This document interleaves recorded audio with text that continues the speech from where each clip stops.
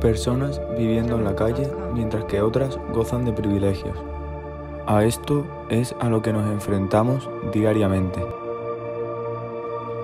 Andamos sin mirar.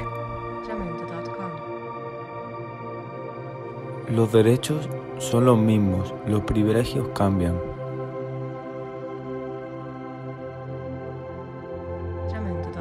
Más riqueza, menos solidaridad.